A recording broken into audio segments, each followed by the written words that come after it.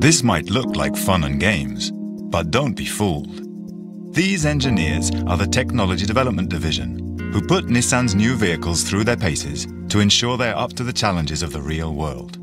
Whatever the situation, these engineers devise a rigorous test program to be certain the new design will cope. And when that car was to be the first ever electric vehicle to be mass produced, they had to think in ways no car engineer had ever thought before. この車の使われ方お客様の使われ方部品の弱みそして環境この観点から新しい実験を作り出してガソリン車プラス、まあ、2倍近くの実験を行いましたガソリン車と大きく違う点として充電は家庭でできますお客様の使われ方のありとあらゆるケースを考えましてこの実験の検討に入りましたハーネス間に導電率の高い液体をこぼしたりネックレスを挟み込んだりしてわざと漏電させて遮断時間を測った実験です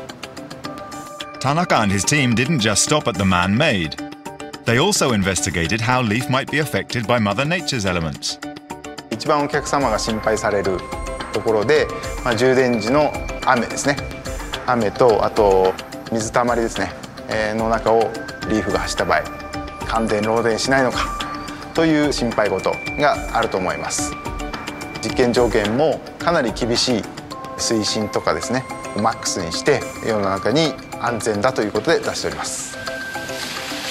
あと雷を模擬した電圧をですねリーフに落としてその電流がどこを流れてどこの大地に落ちるかというところを確認した実験です Leaf was released in 2010 on schedule, in record time, and after twice as many tests as for a regular gasoline vehicle. Tanaka and his team made sure that Nissan's vision for a zero emission automobile can perform 100%, whatever the hazards life throws at it. この目標を達成するために、まあ、短い期間で実験の新しい条件を検討して苦労してやっと世の中に出すことができました。日産はこれから多分新技術新機構というものが、えー、たくさん世の中に出ます。それを、えーと、といち早く私の手で安全というキーワードを抱えて保証して世の中に出したいと、まあ、残り20年そういう仕事をやっていければなというふうに考えております。